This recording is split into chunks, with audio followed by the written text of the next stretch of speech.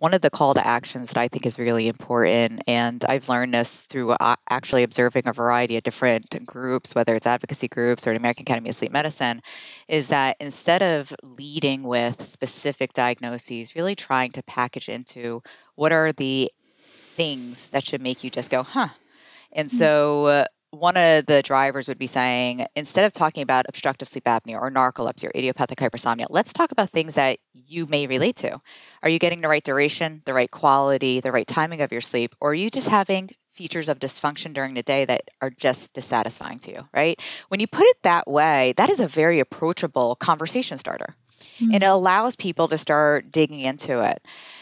You are 100% correct that there are these very, very exquisite barriers when you talk about narcolepsy or idiopathic hypersomnia or even terms like cataplexy. There is such a disconnect.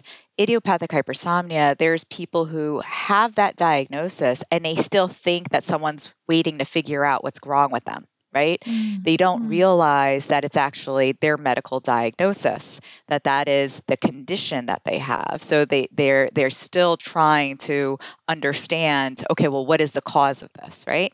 Um, and as a field, yeah, we would all love to know the cause of it.